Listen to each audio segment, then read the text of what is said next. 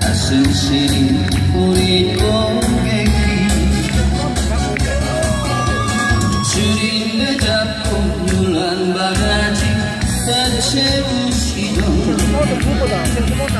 그 세월 어찌 사셨소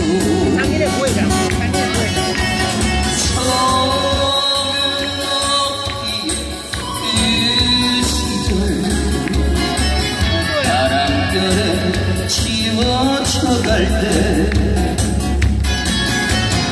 어머님 인구 살았던 한 많은 보릿고개요. 불빛이 꺾어 불던 슬픈 걱정 어머님의 한숨이었소